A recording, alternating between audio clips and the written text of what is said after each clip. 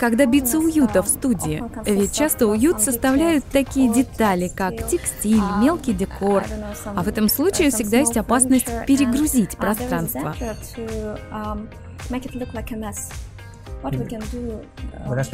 Да, придется быть очень осторожным.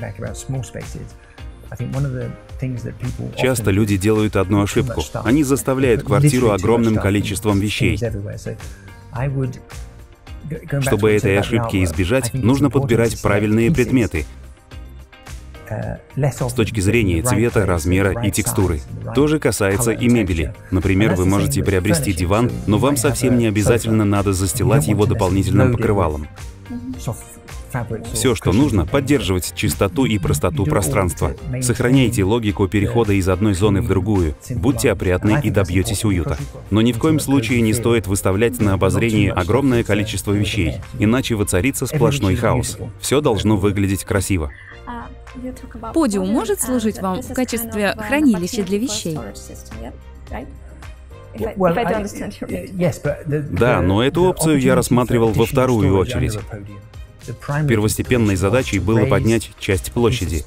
В башне Федерация, напомню, планировки довольно глубокие, поэтому, чтобы сохранить визуальную связь с панорамным окном, отдаленные зоны нужно поднять на уровень выше.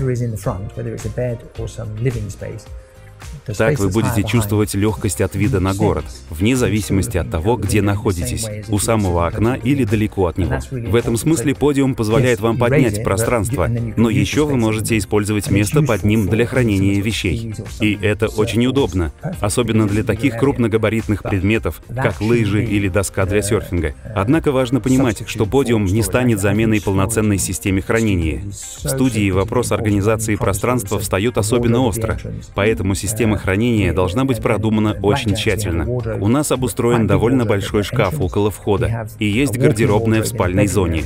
При этом все системы хранения долговечны, а вещи скрыты с глаз. Если вы хотите жить эффектно и с полной жизнью, не захламленной ненужными предметами, важно иметь место для хранения.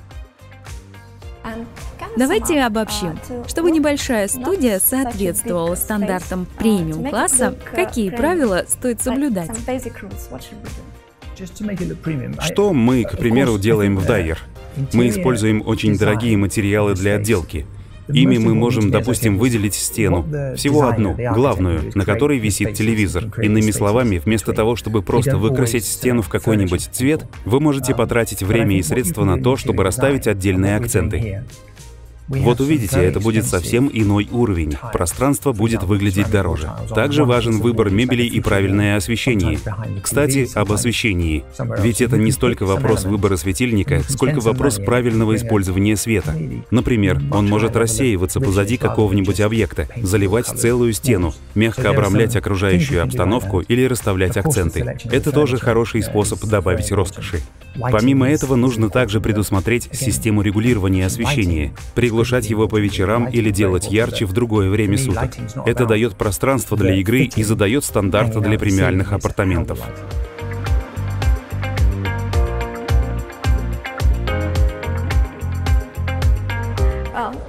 I think that's all. Thank you so much. Okay, it's a pleasure. It was a pleasure. Yeah, yeah thank you.